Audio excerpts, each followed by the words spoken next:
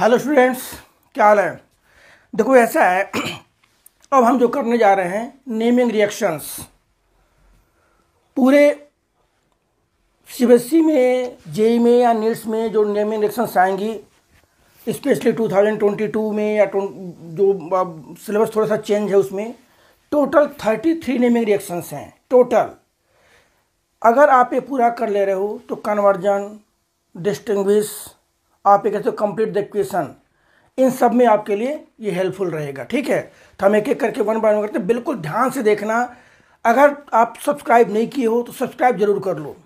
क्योंकि बाकी के जो वीडियो जाएँगे वन शॉट वाले, उसमें आपका पूरा कंप्लीट रिविजन हो जाएगा, ठीक है? तो देखो इसके बाद, यहाँ पर क्या है? फ़र्स्ट आपका ओर्ज रिएक्शन है, देखिए। फ़र्स्ट इज़ ओर्ज रिएक्शन देखो ओर्ज रिएक्शन में क्या भाई? Haloalkane react with sodium in presence of dry ether आपको लिखना कितना, बस वो मैं बोलता जा रहा हूँ, वो लिख लेना और बाकी रिएक्शन यहाँ लिख दे रहा हूँ मैं। Haloalkane react with sodium in presence of dry ether and form hydrocarbon containing R X plus two N A plus R X देखो बेटे इस टाइप से। ये यहाँ से एक्स ये रिमूव हो जाएगा ये। और बचेगा क्या यहाँ पर this is R R plus two N A X. ये आपका रिएक्शन है। देखो, ये क्वेश्चन आप ऐसे ही पूछ सकते हैं इस टाइप से भी। जैसे फॉर एग्ज़ाम्पल यहाँ पर क्या है?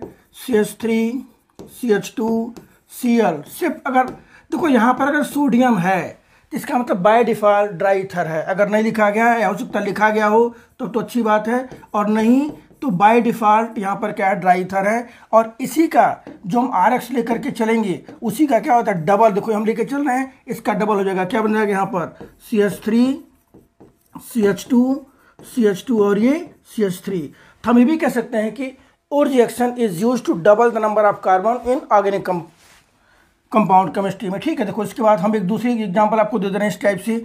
ऐसे पूछ सकते हैं, देखो यहाँ पर। मान लो हम यहाँ लिखा गया सोडियम लिखा गया सिर्फ़।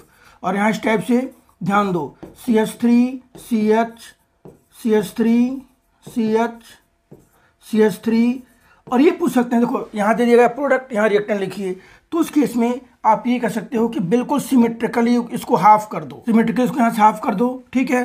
तो ये हमारा बन जाएगा आर एक्स जो कि C H three C H C H three और ये यहाँ कुछ भी लगा सकते हो सी एल बी आर जो भी लगा दोगे तो यहाँ पे बन जाएगा ये। तो this is about all about or reaction ठीक है?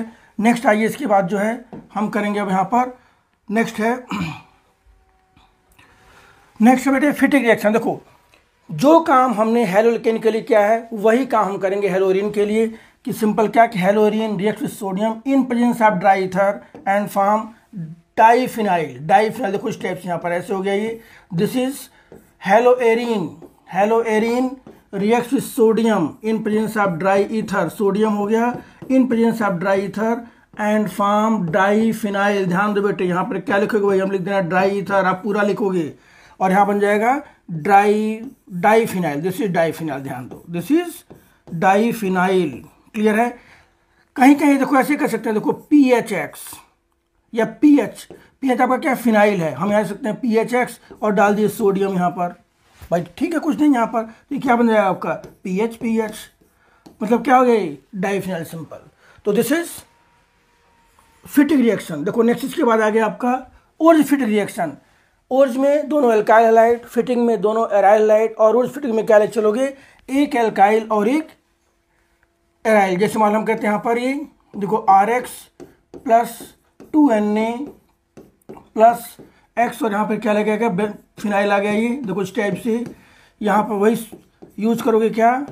ड्राई थर ये क्या बन जाएगा आपका? This is alkyl benzene plus two N A X this is अब एक्स यहाँ पर आप लिख सकते हो सिंपल क्या?